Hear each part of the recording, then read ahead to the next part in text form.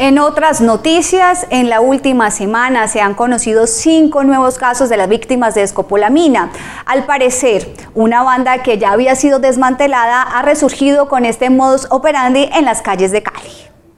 Las autoridades de salud están en alerta ante el incremento de personas que han sido víctimas de una banda que utiliza como medio la escopolamina para robar celulares, joyas y dinero en discotecas y bares en Cali al parecer sería el mismo grupo que hizo de las suyas hace 10 años y que actualmente tiene por lo menos 15 denuncias penales por delitos como concierto para delinquir y hurto calificado.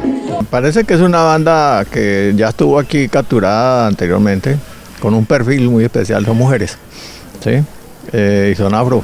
Son mujeres muy elegantes, altas, bonitas, eh, muy agradables, que seducen a los personajes hasta que logran que ellos les reciban eh, algo por la boca. Generalmente es una bebida alcohólica en la cual están las pastillas ya molidas. Le hacen un cambio de mano y logran que ellos las tomen y los tipos quedan eh, inconscientes y amnésicos. En los últimos cinco días se conocieron tres casos de personas que fueron allá deambulando por las calles bajo los efectos de la escopolamina. Se mueven por las fiestas, fiestas de Ampelayo, las fiestas de Pasto, las fiestas de Cali, la feria de Cali, etc. Entonces eh, puede que ellas estén moviendo a ese ritmo, pero lo que yo pienso es que son de aquí. ¿Son autóctonas ese grupo de personas? Sí, claro, es que ya estuvieron en cámara en Telepacífico en otra captura que se les hizo.